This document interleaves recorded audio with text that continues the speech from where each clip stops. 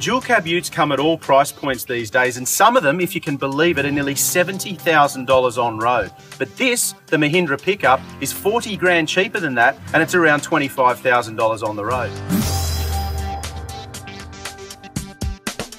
It comes only with a 5-speed manual gearbox, there's no automatic option, but off-roaders will appreciate its BorgWarner transfer case with proper high and low range four-wheel drive, which can be operated on the move.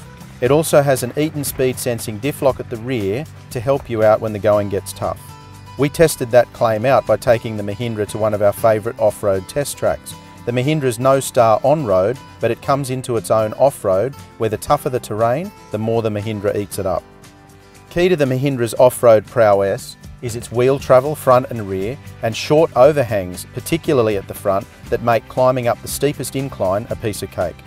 In summary, the Pik-Up is by no means the perfect ute, but it's definitely an affordable proposition and it could prove a very handy alternative to an early 2000s Toyota or Mitsubishi four-wheel drive that by now might have a lot of kilometres on it.